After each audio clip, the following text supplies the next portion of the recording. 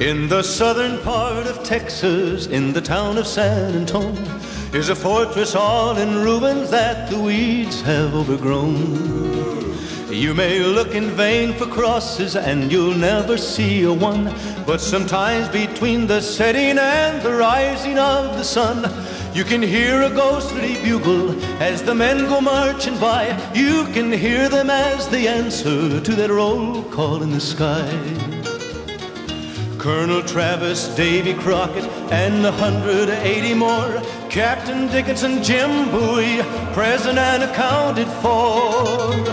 Back in 1836, Houston said to Travis, Get some volunteers and go fortify the Alamo. Well, the men came from Texas and from old Tennessee, and they joined up with Travis just to fight for the right to be free.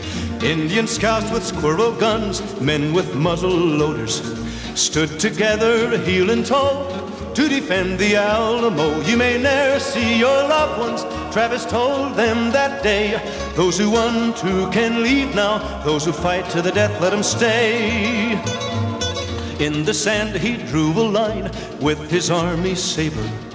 Out of 185, not a soldier crossed the line with his banners a dancing in the dawn's golden light. Santa Anna came prancing on a horse that was black as the night. Sent an officer to tell Travis to surrender.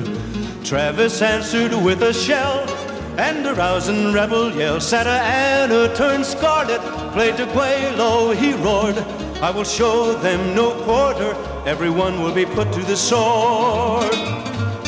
185, holding back 5,000. Five days, six days, eight days, ten. Travis held and held again. Then he sent for replacements for his wounded and lame. But the troops that were coming never came, never came, never came.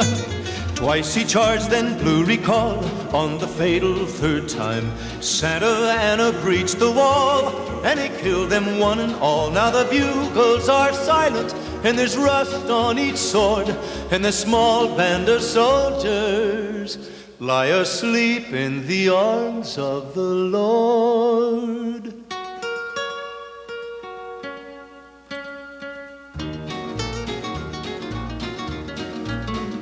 In the southern part of Texas, near the town of San Antonio, like a statue on his pinto rides a cowboy all alone. And he sees the cattle grazing where a century before Santa Anna's guns were blazing and the cannons used to roar.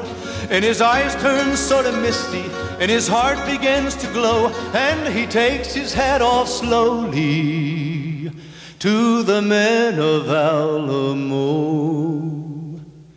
To the thirteen days of glory at the siege of Alamo.